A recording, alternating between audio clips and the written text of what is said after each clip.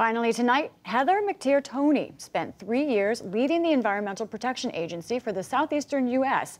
Now her advocacy reaches both nation and worldwide. Tonight, Toney shares her brief but spectacular take on centering black leadership in climate change solutions. Growing up, I was not aware of environmental problems in the Mississippi Delta, in Mississippi, in the South. We didn't think about climate and environment the way that it's focused now. And it's actually quite disturbing because it means that there's a whole foundational part of how we live and exist that wasn't integrated into our education, even though it touched our lives every single day. As a kid growing up, I took in a lot more than I thought I did, whether it was a, a meeting for an election that was coming up or it was a, a protest meeting, I was there. And I was there with other children, listening in to the plans that were being made, and at the same time, you know, grappling with the fact that something must be so important that after a full day's work, you still go into the room to talk about how we could, as one community, ensure that our children, me, would have a great future.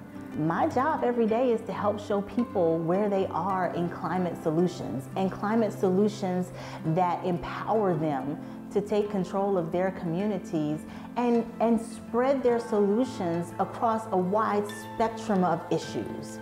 How we connect solving climate crisis in a community that may be impoverished along with how we're able to resolve education disparities in that community and, and health disparities in that community and really the intersection of climate. The stereotype around black people not being involved in climate action and environmentalism and climate change comes from the idea that black folks have got so many other issues to deal with, we don't have time to worry about the planet.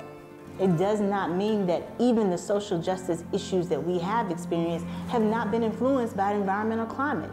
Expanding that picture is my goal every single day to say, yes, you too are part of the environmental movement. You might not know how, you might not know where, but trust me, you are a part of this movement and it's time for you to see and recognize your space and step into it. I'm not willing to gamble on my children's lives. So I'm gonna stay in this fight. I'm gonna stay positive about it.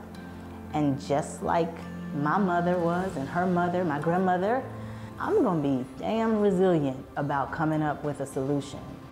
My name is Heather McTeer Toney, and this is my brief but spectacular take on centering black leadership in climate change solutions.